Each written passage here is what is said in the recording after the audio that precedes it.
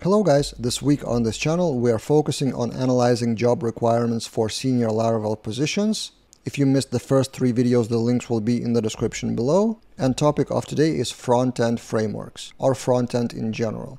So with Laravel jobs, how much front end do you actually need to know? Is it required or not to be a full stack developer and with which technology? So majority of those jobs actually require at least some knowledge and some level of JavaScript. So for example, at least familiarity with front-end JavaScript and JS frameworks without really mentioning which one, Vue, React or something. General simple JavaScript is kind of a no-brainer if you are a web creator.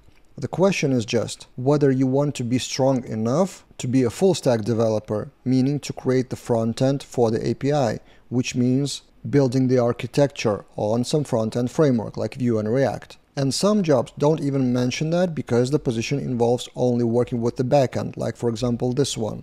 But then usually it involves something really deep related to backend. For example, Elasticsearch and then different types of data storages means that there will be enough work just on the backend handling a lot of data. But if you are expected to work with more simple projects, with websites, probably being at least somewhat full stack is a requirement. If we search, for example, for JavaScript, it is mentioned in 31 jobs, sometimes a few times. If we search for JS, there are other 45 mentions, but those are part of other frameworks, so not sure if you can come to any conclusion out of that.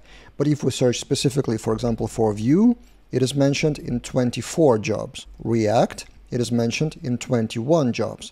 So the numbers are pretty similar, Vue versus React, and I've mentioned that in my other polls on Twitter and elsewhere. Generally, both frameworks are popular enough depending on which segment of the market you take it may be Vue or React more popular. In Laravel community specifically, Vue is strong enough. If you take a look at general global world, React is by far more popular.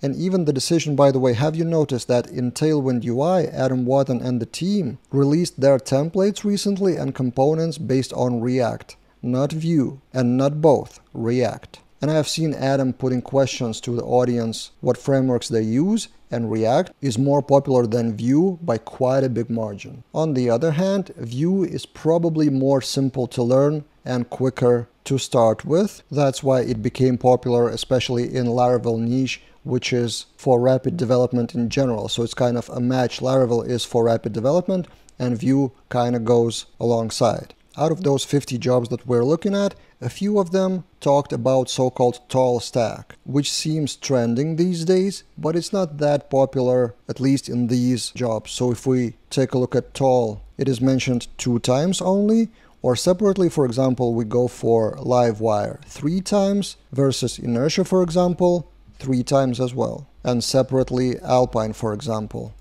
only two times. And that's another proof that if the technology is trending and you can see a lot of tweets, a lot of YouTube videos and posts around that, it doesn't mean it is popular enough to be adopted in companies, especially in bigger, more corporate companies, which are slower to adapt new technologies. They're kind of waiting for them to be more stable and more adopted before adopting them themselves. So that's kind of a sad news for me that TallStack is not that widely adopted. At the same time, the good news is that the older technologies, like for example jQuery, is also used only three times. So when I saw TallStack not that widely used, I was kind of afraid so everyone was using jQuery. No, the conclusion from those numbers probably may be that most of the companies require pure Vue.js or React with API on the backend instead of merging them together in TallStack or Inertia. Finally, if we look at the CSS market, I personally really hate when backend developers are required to work with CSS on a stronger level because it's a separate mindset, separate positions. It should be in reality anything can happen but let's take a look how much css is involved in this list. 21 times. So you are required to at least be familiar with css and html on some level. And that is okay. Generally understand how css work and where to include and how to use classes. That's fine. But what about frameworks? Is tailwind popular here? Tailwind? Eight times so 8 out of 50 jobs require some experience of Tailwind. If we take a look at Bootstrap, only 2. That's interesting. Can we draw some conclusion? Maybe it's not enough data from 50 jobs, but 8 versus 2 probably proves that Tailwind is more popular in senior jobs, at least among those 50. So these are the numbers and my conclusions from front-end topics out of those 50 jobs.